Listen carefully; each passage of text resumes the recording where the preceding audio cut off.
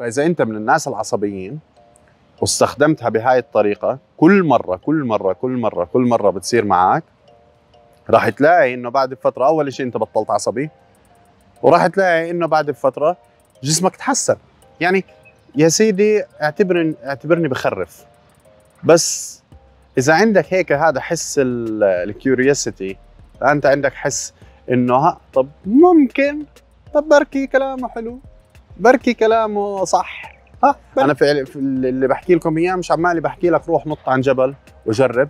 أنا بحكي لك على طرق عملية بسيطة أنت ممكن تطبقها في حياتك اليومية. في كل يوم كل مرة شيء يعصبني. طبعا ما كنتش أقدر أعملها يعني ثلاث أربع مرات باليوم بدي أروح على الجيم وأضلني أتمرن أنا حموت أنا. كل ما واحد حكى لي كلمتين بدي أروح أتمرن على الجيم. أحا مش سوبرمان. أهلا وسهلا فيكم. يوم جديد يسعد صباحكم ومساكم وين ما كنتوا. من وين ما كنتوا عم بتتابعوني. عنوان الفيديو إنه كيف توجه طاقتك السلبية مع إنه حكيت في الفيديو اللي قبله عن الطاقة بطريقة مطولة. كيف توجه طاقتك السلبية والغضب والعصبية؟ بانك تبني جسم حلو انك تبني جسم خرافي كمان. هاي تجربتي الشخصية. أنا يعني برجع بحكي لكم من الأشياء من التجارب اللي بتصير معي ومن التجارب اللي بتصير مع الناس اللي بدربها والناس اللي حوالي. مش عمالي بجيب إشي من برا مش عمالي بس بمسك كتب وشو مكتوب فيها وبحكي عنها. أنا بس عمالي بحكي عن الأشياء اللي صارت معي. بتحب تطبقها أنت وتشوف إذا ممكن تشتغل معك ليش لا؟ يعني يا سيدي اعتبرني اعتبرني بخرف. بس إذا عندك هيك هذا حس ال curiosity انت عندك حس إنه طب ممكن طب بركي كلامه حلو بركي كلامه صح ها بركي هاي بركي لو بركي كلامه صح. جرب. مشيت معك مشيت ما مشيت معك زي ما حكينا دخل من هون وطلع من هون ما صار أي شيء يعني ما راح تخسر ولا أي شيء أنا في اللي بحكي لكم إياه مش عمالي بحكي لك روح نط عن جبل وجرب. أنا بحكي لك على طرق عملية بسيطة أنت ممكن تطبقها في حياتك اليومية. في كل يوم تأخذ لها شوية وقت عشان تشوف نتائج بس ممكن تشوف نتائج خرافية عليها. لما أنا كنت مراهق تينيجر متربي أنا في حرب متربي في فلسطين وفلسطين كنا متربيين بالحرب. فالناس كلها دائما كانت تنس دائما مشدودة. بلد حرب. لبنان بلد حرب سوريا بلد حرب. عشان هيك أنا لما أحكي العالم العربي أنا بعرف في ناس كثير قادرة تستوعب و... وأنا ممكن يعني أدق على وتر حساس ناس كثير لأنهم عاشوا هاي التجربة. ف بما إنه كل الناس تنس مثلا بالأردن أنا ترى كمان درست في الأردن في الأردن الناس مضغوطين نفسيا عندهم الضغط النفسي عالي. فالكل عصبي. بديش أحكي الكل بديش أحكي الكل. في ناس عسل وروعة وأكثر صراحة بني آدم رايق أنا تعرفت عليه في حياتي وهو اللي علمني أصلا الروقان والهدوء وكيف إنه الواحد يسمع. هو جوز خالتي الطفيلة. بني آدم أروع ما يكون. لما تقعد معاه هادي رايق متكلم متحدث ولا أحلى منه. رجل زي العسل. فما بدي ما بدي أحكي الكل. كل كلمة غلط. في ناس مضغوطين وفي ناس شوي عندهم آه الضغط هذا بسبب لهم عصبية سواء من موضوع رواتب سواء من موضوع فلوس سواء من موضوع حب من بغض النظر من وين جاي العصبية. فأنا كمراهق في هذيك الفترة كانت عندي هاي العصبية. وكنا إيش إحنا عندنا يعني العصبي أكثر والمشكلجي أكثر معناها زلمه أكثر ها؟ معناها رجال أكثر طلعت الرجوله ما لهاش علاقة في هذا الحكي كله. طلع هذا حكي أصلا أنت بتكون يعني على غباء إذا أنت ماشي في هذا الطريق. لأنه الرجوله مش بالعضلات. ممكن يجي على فكرة واحد هيك طول بعرض زيي وضخم ويجي واحد بيلعب كاراتيه أو martial arts هالقد هالقد بس عنده تكنيك معين يحطك في الأرض. وأنا شايفها. هالقد هالقد. واحد طوله متر ونص كان عندنا في الجيم. كل جيم بخاف منه. مش بخاف منه يعني بحترمه. لأنه لما تشوفه في ال ring لما تشوفه على الحلبة سفاح.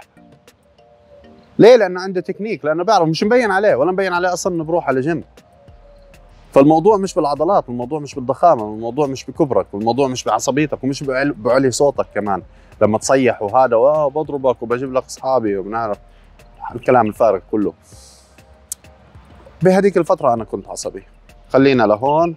بعدين الحمد لله إني تغيرت وصرت من من أروع الناس ومن من الأشياء اللي خلتني كثير أحب الحياة.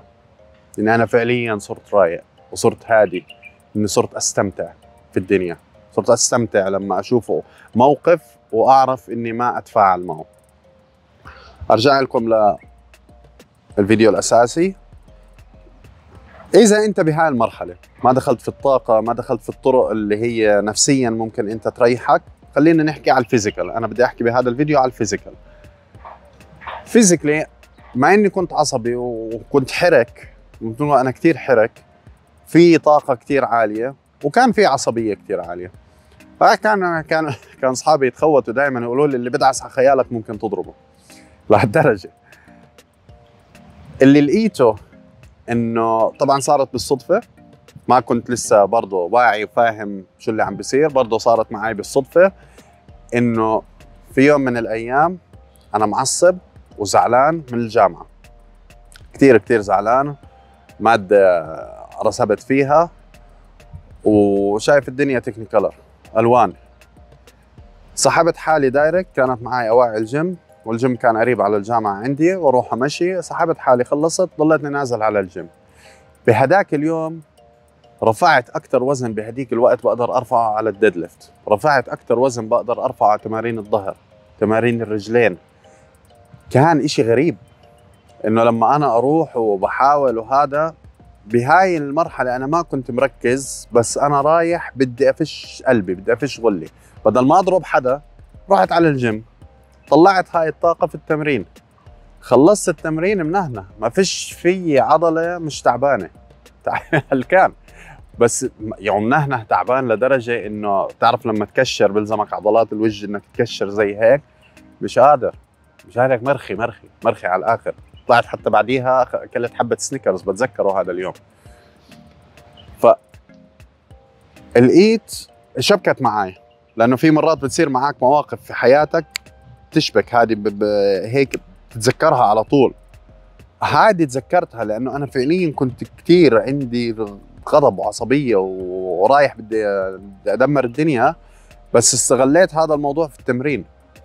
فصرت كل مرة شيء يعصبني طبعا ما كنتش أقدر أعملها يعني ثلاث أربع مرات باليوم بدي أروح على الجيم وأضلني أتمرن أنا حموت أنا. كل ما واحد حكى لي كلمتين بدي أروح أتمرن على الجيم أحا مش سوبرمان.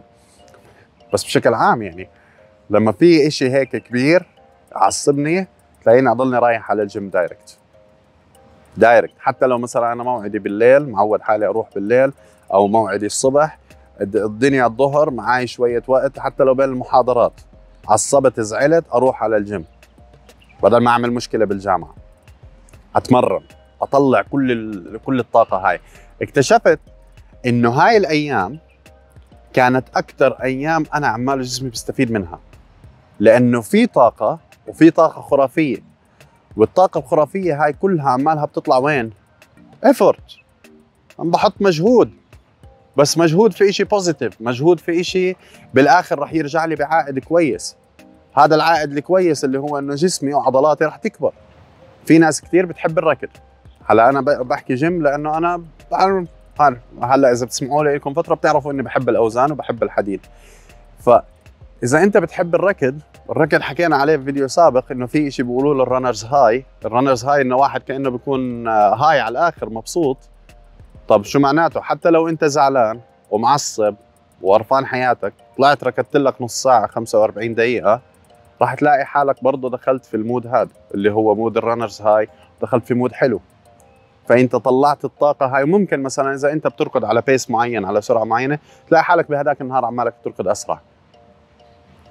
إذا أنت بتعمل رياضة اللي هي ال contact sport martial arts boxing whatever شو اللي عمالك بتعمله. روح تتمرن بس ما تأذي حدا يعني. ممكن على ال boxing bag تروح تطلع الطاقة هاي كلها تضلك ضرب ضرب ضرب ضرب ضرب. بس ضرب بطريقة إنك عمالك بتستعمل التكنيك لتمرينك فأنت بتتحسن. فهون أنت استخدمت الطاقة السلبية هاي استخدمت العصبية هاي كلها اللي عندك استخدمت الغضب العارم اللي جايك من جوا في شيء positive لأنه عائده راح يرجع عليك. بعد بفترة راح تمشي مرة ومرتين وثلاثة وعشرة وعشرين أنت مش راح تكون بني آدم مثلا عصبي ومرة واحدة تصير زن ومرتاح و... والحياة لطيفة. لا طبعا. طبعا الموضوع بأخذ وقت. بدك تبرمج عقلك الباطن إنك أنت بني آدم تغيرت. بده جسمك يتعود على إنك أنت بني آدم تغيرت. فإذا أنت من الناس العصبيين واستخدمتها بهاي الطريقة كل مرة كل مرة كل مرة كل مرة بتصير معك راح تلاقي إنه بعد فترة أول شيء أنت بطلت عصبي وراح تلاقي إنه بعد فترة جسمك تحسن. فهيك أنا هذا الموضوع أخذني سنين. ما بحكي لكم إنه مرة ومرتين أنا بحكي لكم على الموقف اللي شبكت معي فيه على الموقف اللي صارت هذا الموضوع كونشس اللي طلع للعقل الواعي إنه آه, آه هذه اللمبة اللي بتطلع بتضوي قدامك هاي هيك هاي اللي طلعت لي. فهاي اللي فهمت أنا فيها شو اللي عماله بصير. وهون بناء عليه كملت. صرت كل مرة إنه طيب هلأ أنا بوعي آه عصبت زعلت راح أروح على الجيم. فهيك أنا بنيت الجسم الخرافي. وهيك أنت ممكن غضبك وعصبيتك إنها تساعدك إنك تبني جسم خرافي أو توصل لل fitness goal تبعتك أو تصير بني آدم أقوى أو تصير بني آدم أسرع أو تصير سوبرمان أو اللي أنت بدك إياه تصيره بتصيره. يعطيكم العافية. عجبكم الفيديو؟ اعملوا لايك. اللي كمل الفيديو للآخر بشكره من كل قلبي. بشوفكم في الفيديو اللي بعده.